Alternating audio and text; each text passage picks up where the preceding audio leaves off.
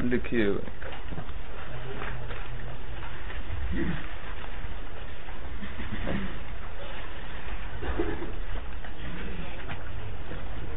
علم بلاغت۔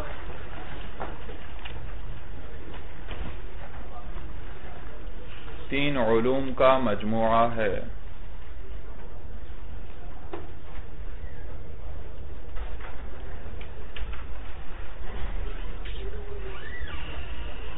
علم بلاغت تین علوم کا مجموعہ ہے۔ علم معانی۔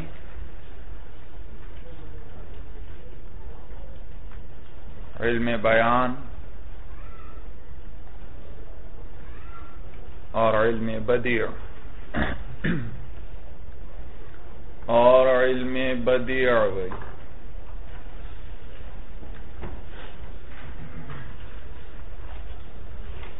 علماء متقدمین۔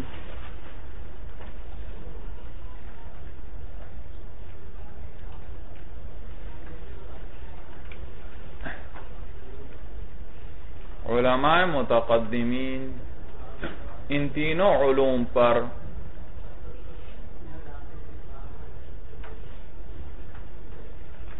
ان تینوں علوم پر علم بیان کا اطلاق کیا کرتے تھے۔ علم بیان کا اطلاق کیا کرتے تھے۔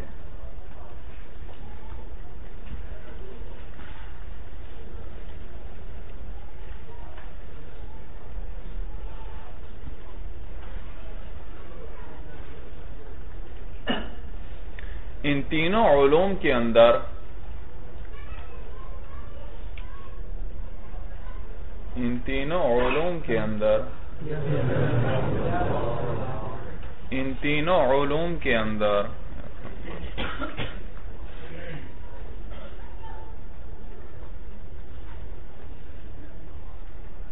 پہلی پہلی تصانیف کن علماء کی ہیں؟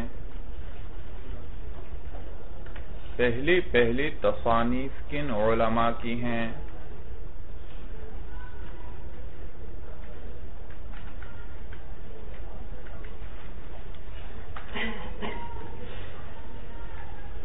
اس سلسلے میں علماء لکھتے ہیں۔ اس سلسلے میں علماء لکھتے ہیں۔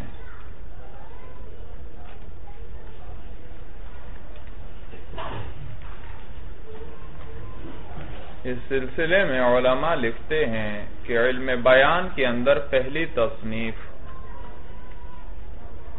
کہ علم بیان کے اندر پہلی تصنیف۔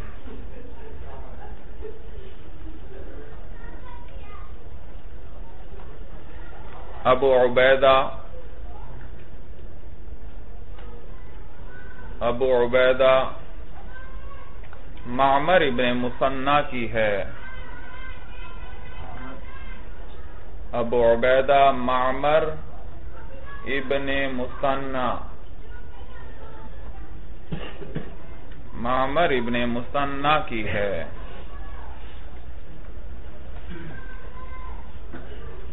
جس کا نام ہے مجاز القرآن۔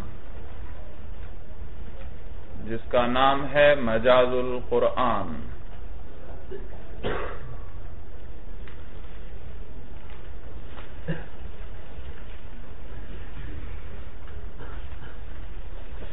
ابو عبیدہ۔ ابو عبیدہ۔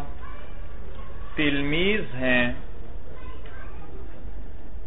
ابو عبیدہ تلمیز ہیں امام خلیل ابن احمد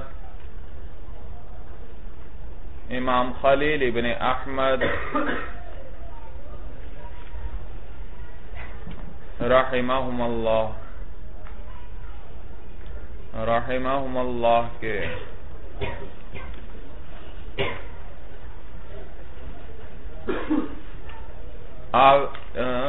ابو عبیدہ کی وفات دو سو گیارہ ہجری میں ہوئی۔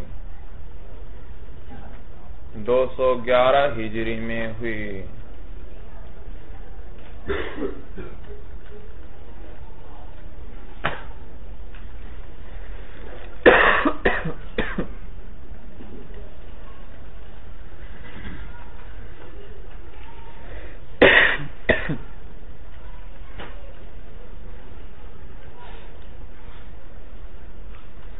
علم معانی میں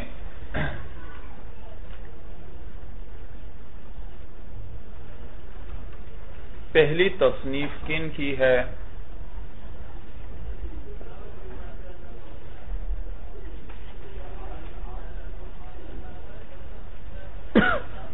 اس بارے میں کوئی علم نہیں۔ اس بارے میں کوئی علم نہیں۔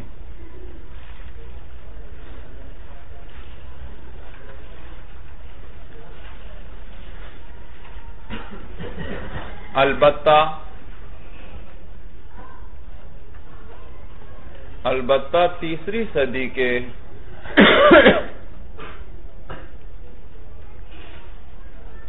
البتہ تیسری صدی کے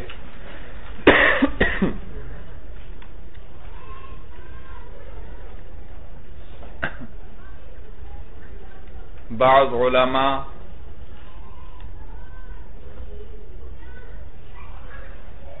اور ائمہ اور ائمہ فنون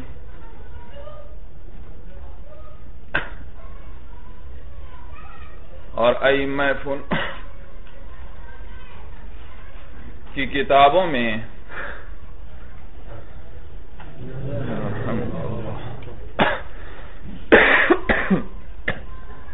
اس علم کے کچھ اشارات ملتے ہیں۔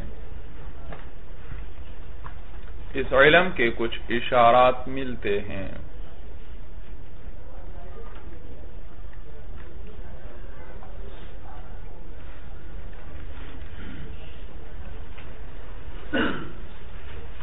مثلا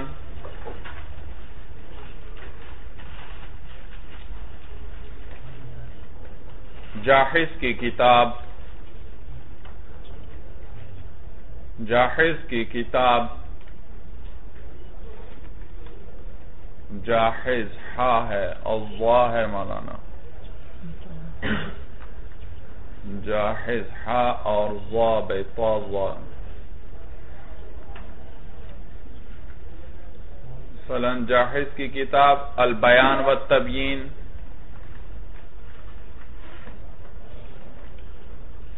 البیان و تبیین اور اعراب القرآن۔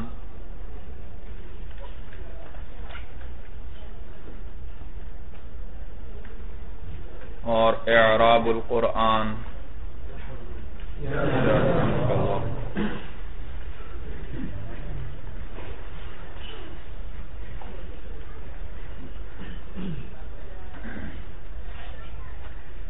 ابن قطعبہ کی کتاب۔ ابن قطعبہ کی کتاب، قطعبہ دو نکتوں والا قاف ہے بھائی ابن قطعبہ کی کتاب،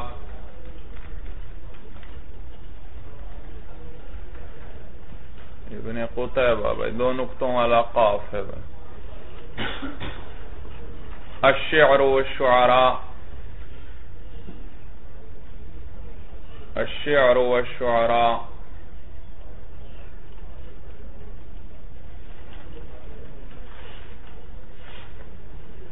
اور امام مبرد کی کتاب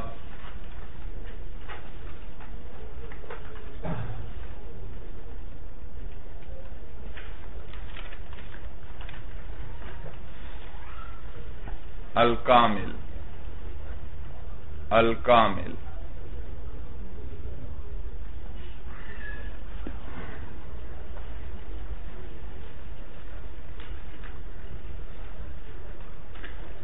جبکہ علم بدیع میں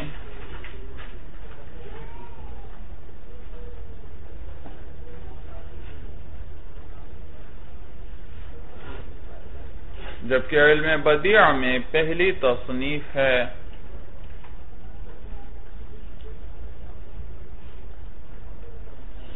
خلیفہ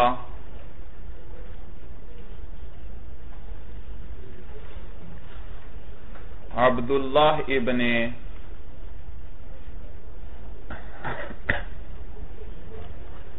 عبداللہ ابن معتز، میم، عین، تا دو نقطوں والی زا مولانا، مشدد۔ عبداللہ ابن معتز کی۔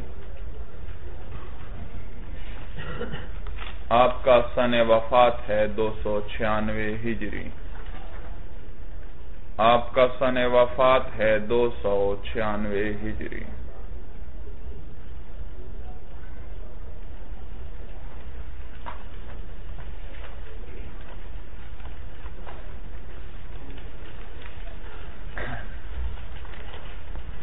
اس کے بعد یہ علوم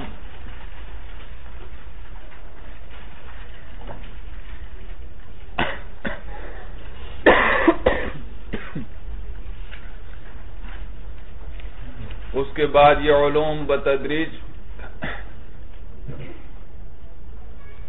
ترقی کرتے رہے۔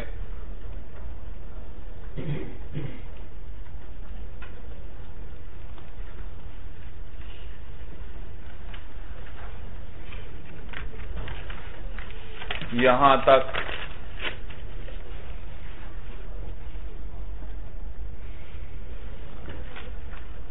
کہ شیخ عبد القاہر جرجانی۔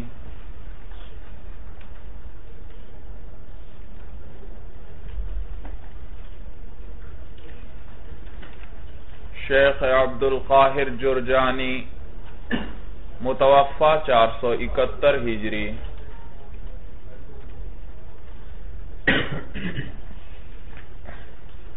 متوفہ چار سو اکتر ہجری کا زمانہ آیا۔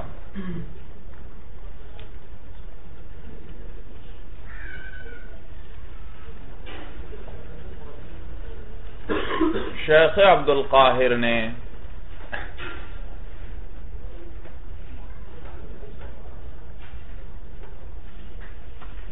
شیخ عبد القاہر نے ان علوم کو بام عروج پر پہنچا دیا۔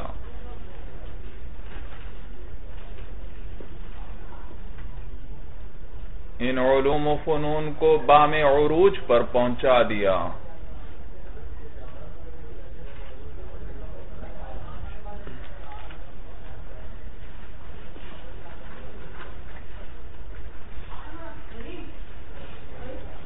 آپ نے مشہور عالم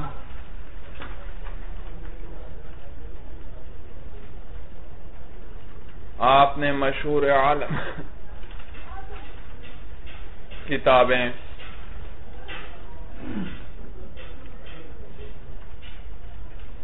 اسرار البلاغہ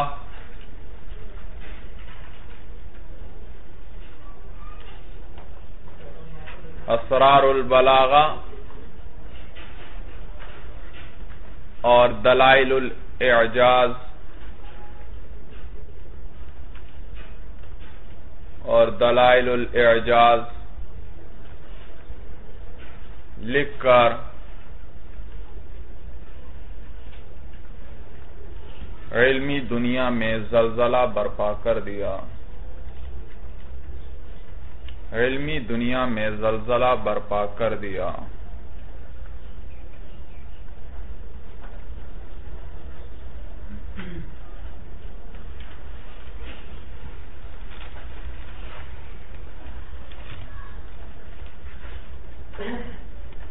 آپ کے بعد علامہ زمخشری کا دور آتا ہے۔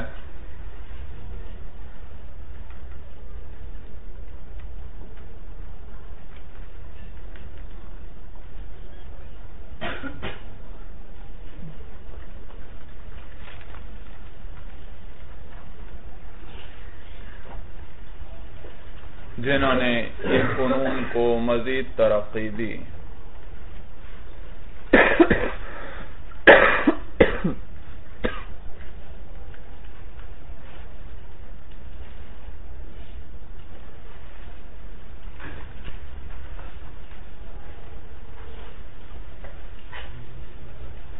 اس سلسلے میں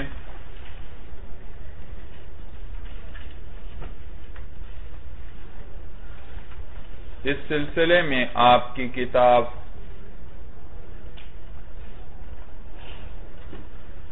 اساس البلاغہ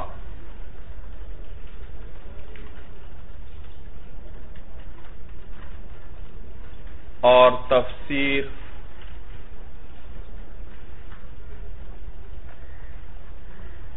کشاف نہایت اہم ہیں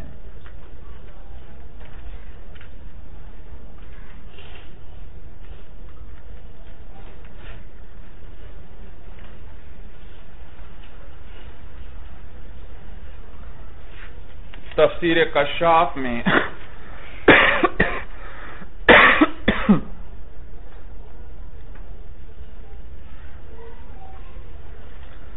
تفسیر کشاف میں علامہ زمخشری۔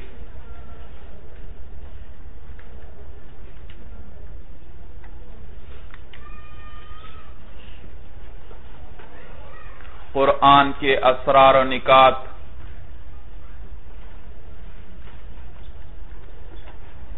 قرآن کے اسرار و نکات اور حقائق و دقائق بیان فرماتے ہیں۔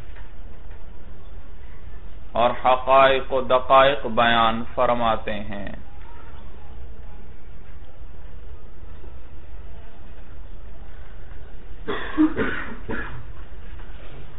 اور ساتھ ساتھ، اور ساتھ ساتھ علم بلاغت کے، علم بلاغت کے بہت سے قوانین اور ضوابط ذکر کرتے چلے جاتے ہیں۔ بہت سے قوانین اور ضوابط ذکر کرتے چلے جاتے ہیں۔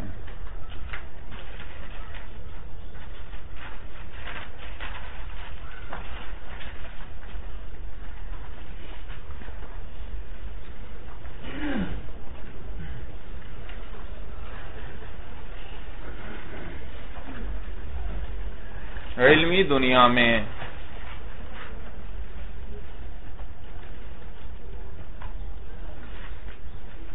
کشاف کی عظمت کا اندازہ اس بات سے لگایا جا سکتا ہے۔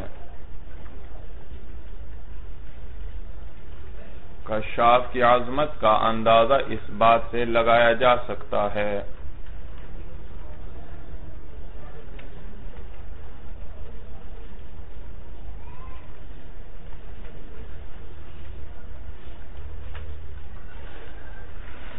کہ قیامت تک آنے والے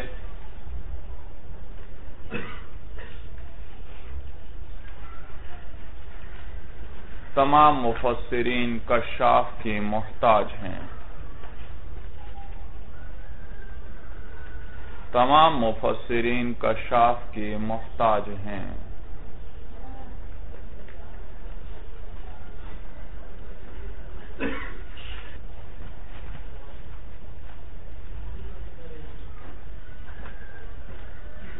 تو علم بلاغت کے ائمہ،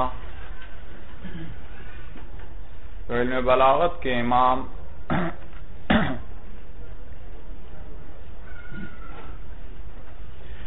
دو ہیں۔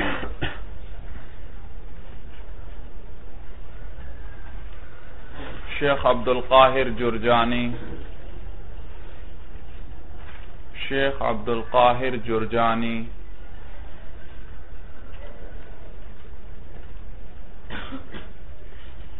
اور علامہ زمخشری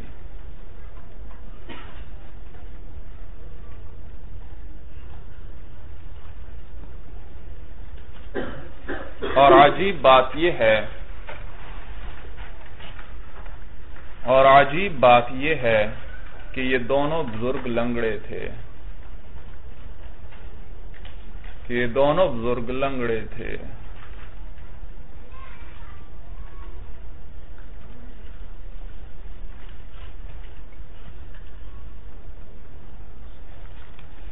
چنانچہ علماء فرماتے ہیں۔ چنانچہ علماء میں یہ جملہ مشہور ہے۔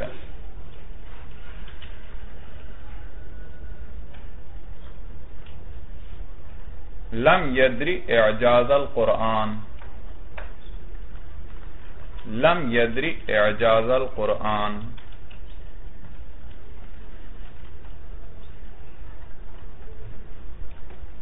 الا الاعرجان الا الاعرجان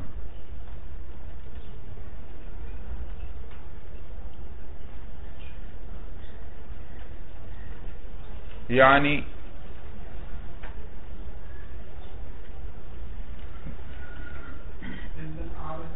الا الاعرجان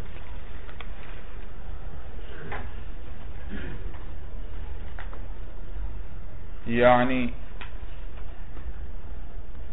قرآنی بلاغت کو قرآنی بلاغت کو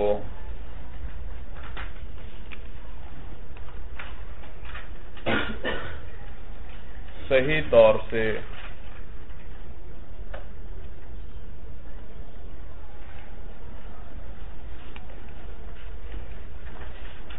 دو لنگڑے بزرگوں نے ہی جانا ہے۔ دو لنگڑے بزرگوں نے ہی جانا ہے۔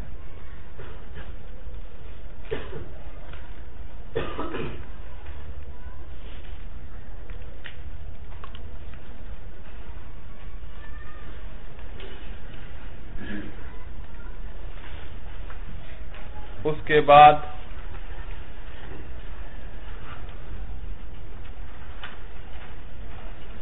اس کے بعد علامہ ابو یعقوب یوسف سکاکی کا زمانہ آتا ہے۔ علامہ ابو یعقوب یوسف سکاکی کا زمانہ آتا ہے۔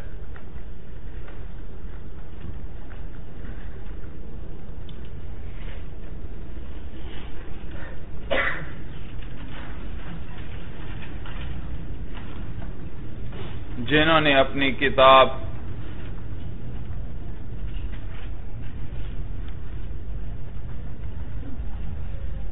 جنہوں نے اپنی کتاب مفتاح العلوم کی قسم سالس میں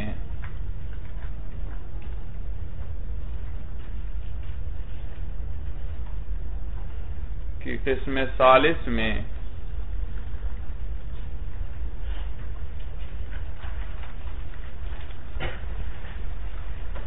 علم بلاغت کو بڑے جامع اور کامل طریقے سے بیان کیا ہے۔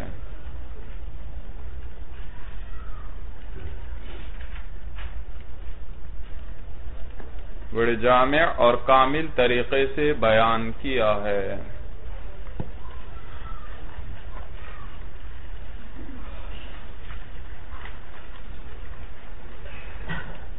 آپ کا سن وفات ہے۔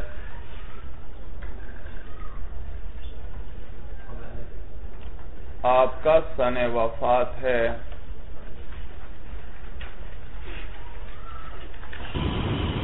چھ سو چھبیس ہجری۔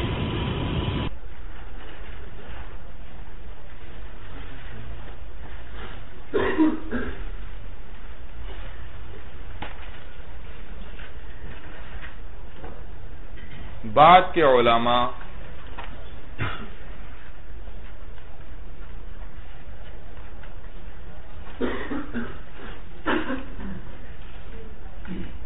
انہی مذکورہ علماء کے خوشچی ہیں۔ انہی مذکورہ علماء کے خوشچی ہیں۔ انہی علماء کے خوشچی ہیں۔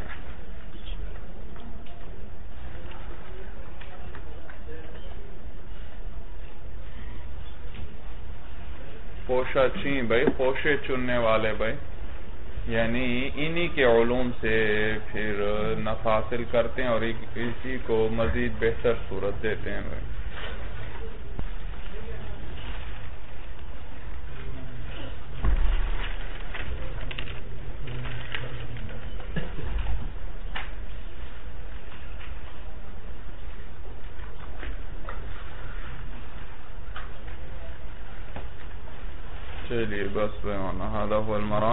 والله أعلم بحقيقة الكلام